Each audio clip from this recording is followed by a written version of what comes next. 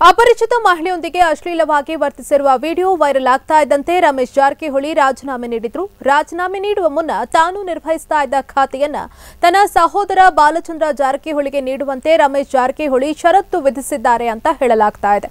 ಆದರೆ ಸದ್ಯ ನಾಲ್ಕು ರಾಜ್ಯಗಳ ವಿಧಾನಸಭೆ ಚುನಾವಣೆ ಘೋಷಣೆಯಾಗಿದೆ. ಇದರ ಜೊತೆಗೆ ರಾಜ್ಯದಲ್ಲಿ ಉಪಚುನಾವಣೆ ನಡೆಯಬೇಕಿದೆ. ಚುನಾವಣೆ ಮುಗಿಯುವವರೆಗೂ ಖಾತೆ ನೀಡಲು ಸಾಧ್ಯವಿಲ್ಲ ಎಂದು ಮುಖ್ಯಮಂತ್ರಿ ಹೇಳಿದ್ದಾರೆ ಅಂತ ತಿಳಿದು ಬಂದಿದೆ.